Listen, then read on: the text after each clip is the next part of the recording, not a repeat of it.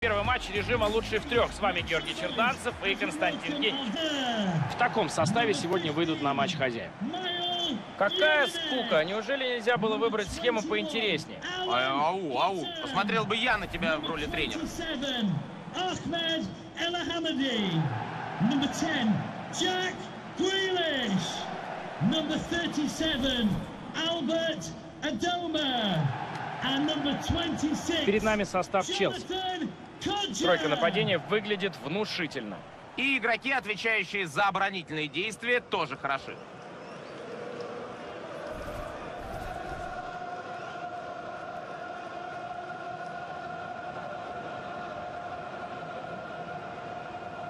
Первый матч режима «Лучший в трех». С вами Георгий Черданцев и Константин Генич.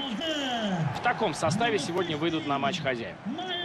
Какая скука! Неужели нельзя было выбрать схему поинтереснее? А, Ау, ау. Посмотрел бы я на тебя в роли тренера. 27, Ahmed El Hamadi.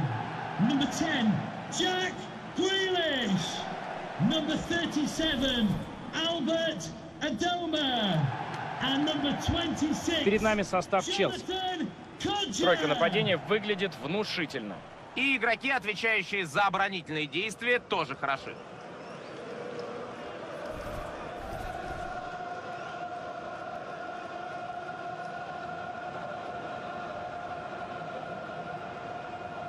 Первый матч режима «Лучший в трех». С вами Георгий Черданцев и Константин Генич.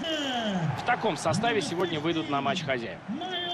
Какая скука! Неужели нельзя было выбрать схему поинтереснее? А, Ау, ау. Посмотрел бы я на тебя в роли тренера. 27, Ahmed El Hamadi.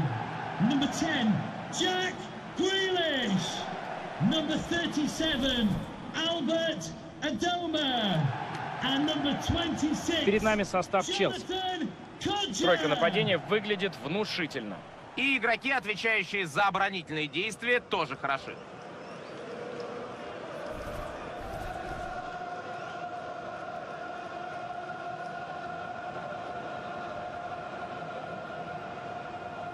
Первый матч режима «Лучший в трех». С вами Георгий Черданцев и Константин Генич.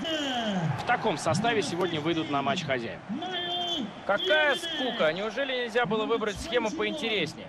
А, Ау, ау. Посмотрел бы я на тебя в роли тренера. 27, Ahmed El Hamadi. Number 10, Jack Grealish. Number 37, Albert Adoma. And number 26, Перед нами состав Челси. Тройка нападения выглядит внушительно. И игроки, отвечающие за оборонительные действия, тоже хороши.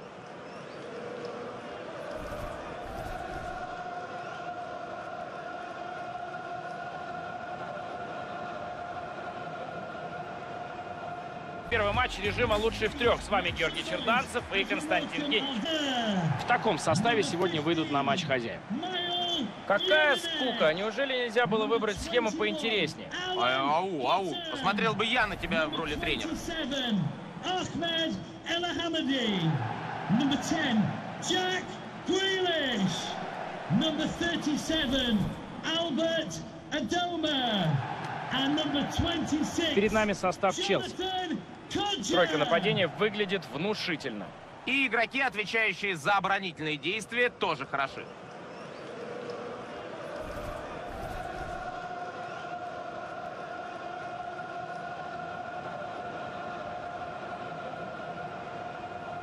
Первый матч режима «Лучший в трех». С вами Георгий Черданцев и Константин Генич. В таком составе сегодня выйдут на матч хозяев.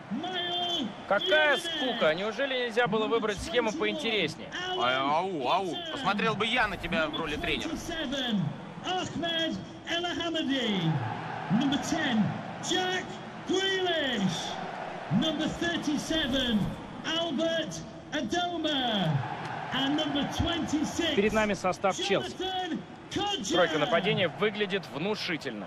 И игроки, отвечающие за оборонительные действия, тоже хороши.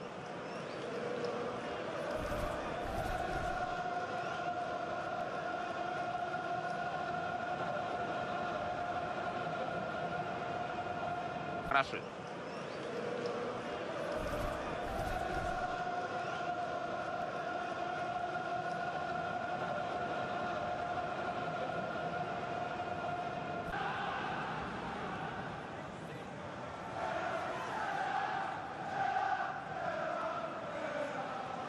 Стадиону Вилла Парк в свое время выпала честь принимать финал последнего в истории Кубка обладателей Кубков. Это случилось в 1999 году. Тогда на этом поле сошлись Лацио и Реал. Но не мадридский, а тот, что с Мальоркой. Итальянский клуб оказался сильнее и одержал победу со счетом 2-1. Помимо этого, Вилла Парк – стадион наиболее часто принимавший полуфиналы Кубка Англии. Целых 55 раз. Первый тайм начался.